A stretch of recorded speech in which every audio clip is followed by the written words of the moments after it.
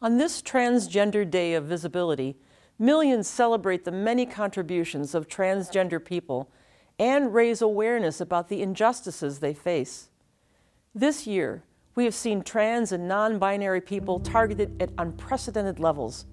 We have seen almost 400 bills introduced across this nation that aim to dehumanize the LGBTQIA community, especially our transgender and non binary siblings.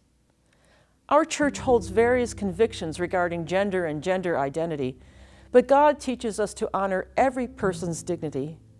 We affirm that transgender and non binary siblings are children of God, created in God's image, who are embraced in God's unconditional love. The great commandment is that we love the Lord our God with all our heart, and with all our soul, and with all our strength, and with all our mind, and love our neighbor as ourself. A man asked Jesus, And who is my neighbor? Then Jesus flipped the question in his parable of the Good Samaritan.